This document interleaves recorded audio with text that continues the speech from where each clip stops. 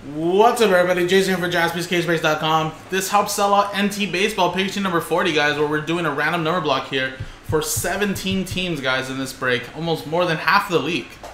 So, of course, a little pricey at 180 a spot, but you're getting a piece of 17 different teams. So a little over maybe $11 a team, potentially, to get big hits. So there's the teams there. Of course, this is a serial number break. You get a number randomized from 0 through 9. If there's any hits for 17 of these teams, we'll distribute them via the serial number break. Go by the first number on the left side of the serial number dash. And there's your examples there in the bio, or the item page, I should say.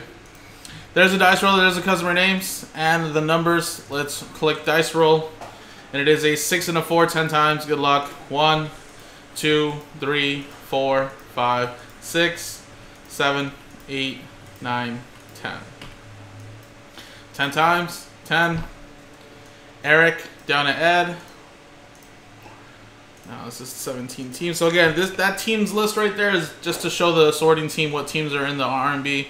Doesn't mean if you match up with them, that's what you get. You get a piece of all of these teams. Now 10 times 0. 1, 2, 3, 4, 5, 6, 7, 8, 9, 10. 10 times 10, 10. 1 down to 7.